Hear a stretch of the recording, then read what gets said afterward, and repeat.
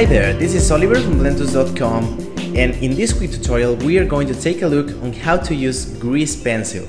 Alright, Grease Pencil is a feature um, quite unknown and a lot of people, at least uh, a lot of people that I know, don't find it useful actually, but it is useful for a lot of things, right? Mainly for reference work or for just annotations on the scene well, I'll show you uh, some of that things uh, right now, but uh, I'd like to talk about uh, some possible uses of Grease Pencil.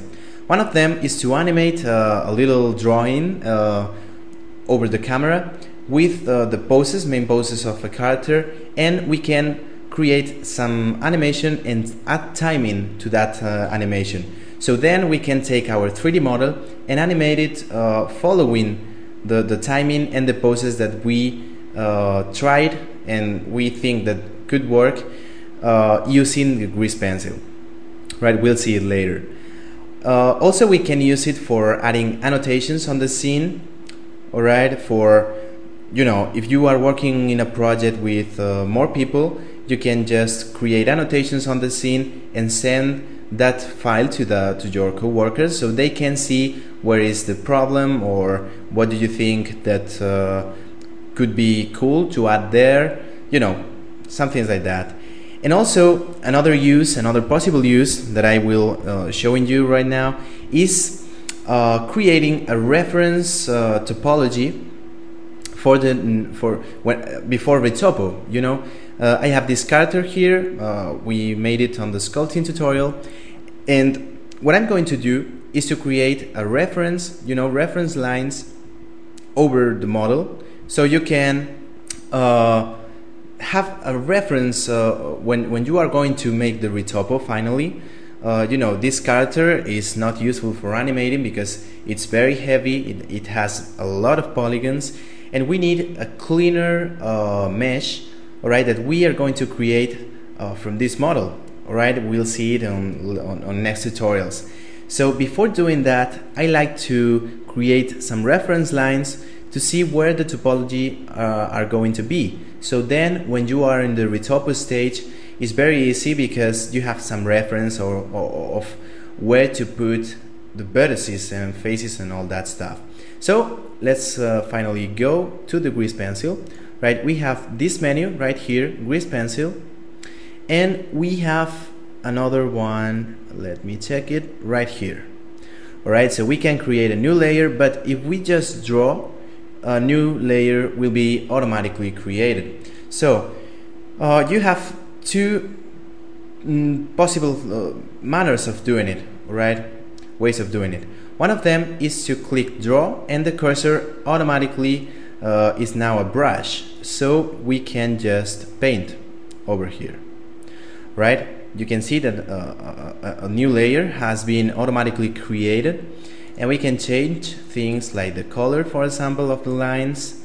Uh, we'll see that this later is for animation. We can change the, the thickness of the lines and the opacity. Also, if X-ray, alright, you can see here that uh, it's um, behind the model, so it's hidden hidden sorry. But if you activate x-ray you will see always the lines on top of the models or whatever you have on the scene right? Which is cool for annotations and things like that. Also you could create a new layer and you can work with several layers at the same time right? For now we are going just to work with this one. Let's add a more Blendtuts color. All right. So uh, clicking line you are going to do the same but clicking and dragging you will create a line. And with erase you will erase everything you touch. Alright uh, another way of doing it which is more mm, fast and easy is to press the D while clicking and dragging with the left mouse cursor. There you have it. And if you press D and right mouse button you will erase the lines which is cool so once we know how to use this and how to draw on the view uh, we are going to see the different methods of creating lines alright the first one is cursor all right? cursor we're going to this new layer uh, will create you know because the lines are in 3d so the cursor uh, when you are sorry well this is one thing that I was going to explain later but I'm going to talk about it now. And is that uh, when you um, create a line or something it will be attached to the model that you have or to the object that you have selected on that time all right so this way as you can see we have it here the layer but if we hide that object uh, that layer disappears all right we have it just on this model. So well let's go into let's go to to create the lines just from here. And as you can see from the point of view it will create the line from the point of view at the distance of the 3d cursor right? If we create a new one from here it will be the same in 3d but it will be aligned to the cursor. And the same happens from this position right? So it's pretty cool. Uh, let's raise them. Okay. This is cool for example for let's say that we have an error here or we will like to add a horn right here. So click here. You have there have there the 3d cursor. And now let's make this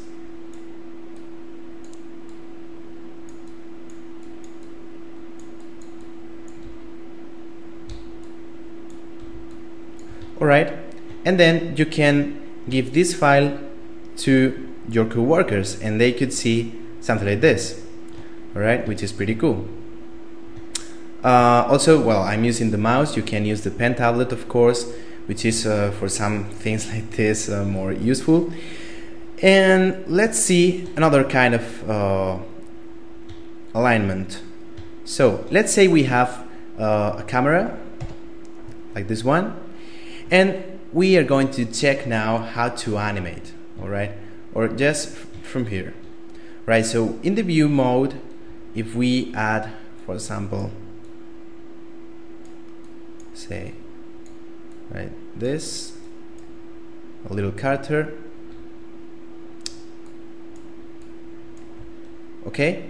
We have this character here and uh, we can rotate the view because the the the drawing is always facing the camera all right it don't has um, you know it doesn't have uh, distance right? It always is like a 2d painting all right so it's very useful when working with cameras right? Because right now I can go ahead sorry select the character that we, we have and here we have our little character alright so having this character here we're going to check another thing. Alright let's go to the to the number 5 frame. Activate onion skinning. Okay. And now if we start drawing another frame. Okay like this. For example. You will have an animation. There you have it and here for example uh, I don't know.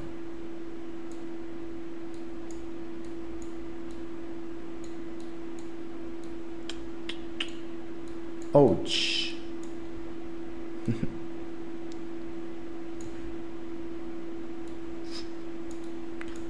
I'm, I'm going crazy right now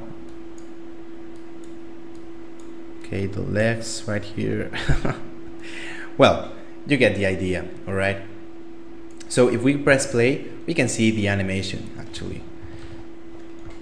All right uh, the thing with this is that we can just open a dope sheet and here instead of dope sheet we are going to select grease pencil. And this way we have access to the frames of the grease pencil which is very cool right? Also this is GP layer. I'm going to call it uh, crazy animation. And now here we have this layer right?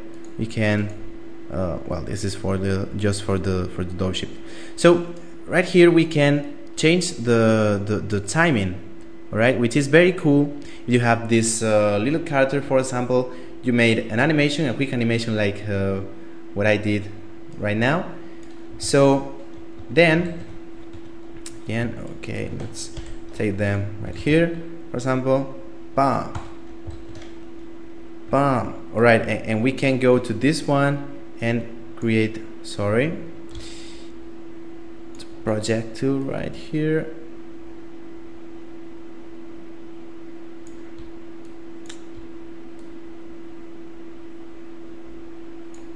Okay let's go right here well I just fucked a frame. Well no problem. I don't want to to bother uh, well just this frame and now it is. Okay. So right here line right there. And there you have it.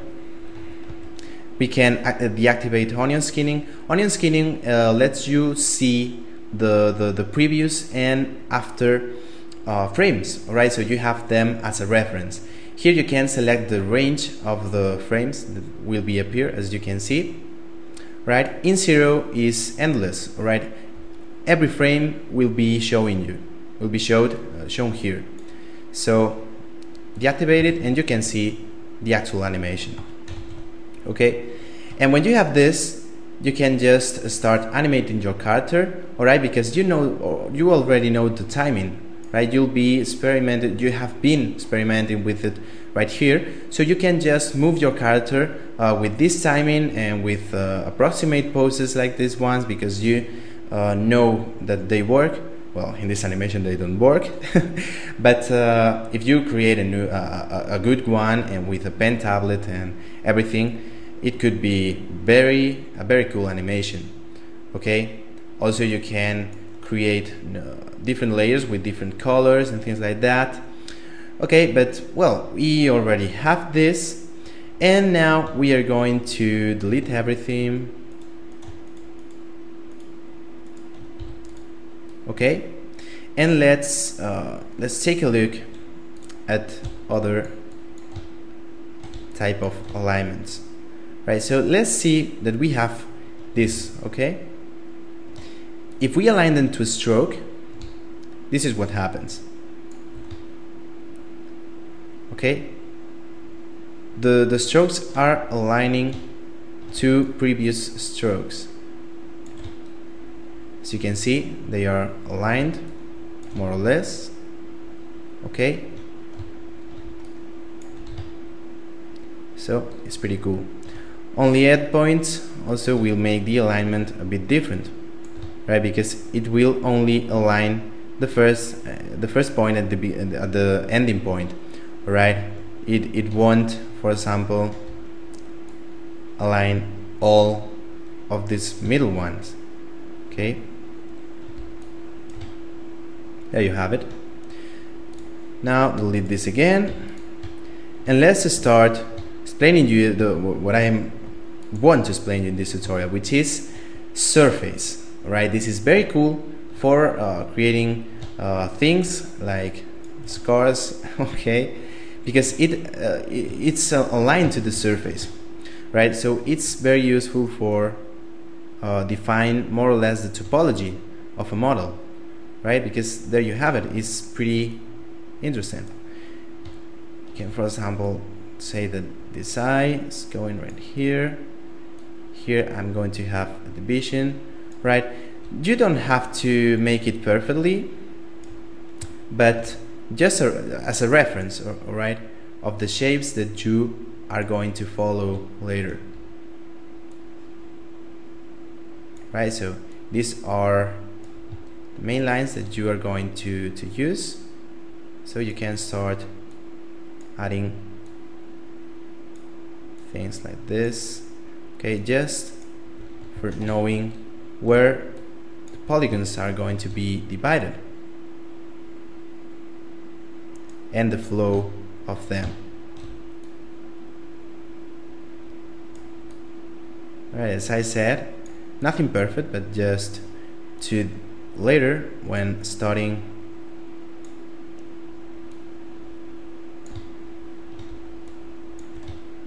the topology we have more or less a clear idea, all right?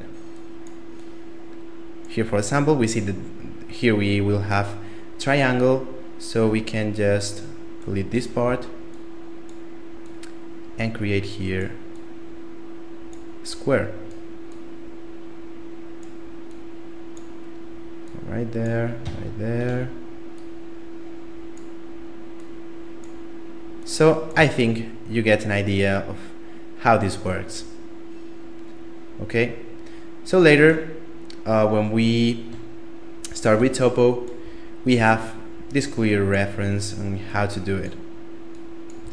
Okay, so the important thing here is that this uh, reference, you should do it on the, uh, you know, you create for example a plane and you select it and start creating this reference because if you don't, then when you select the plane and start making the retopo, the new model, basing on this one, you will end up having nothing because the, the, the reference will be attached to the original object and when you select a different one it will be hidden.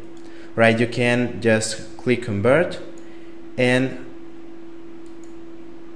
select Bezier curve and you'll have these lines in a Bezier curve right a very heavy Bezier curve but this is not useful at all right it's very cool to watch it and you can make uh, custom wireframes and things like that but well it's not very useful for, for what I'm expecting right now.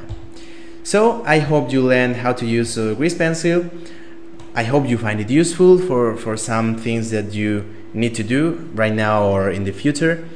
And well, see you soon and happy blending. In, in next tutorials we are going to, to create a retopo of, I don't know if this face or another one that I have right here, but uh, well, we are taking a look at it in, in next tutorials. So, happy blending and see you soon.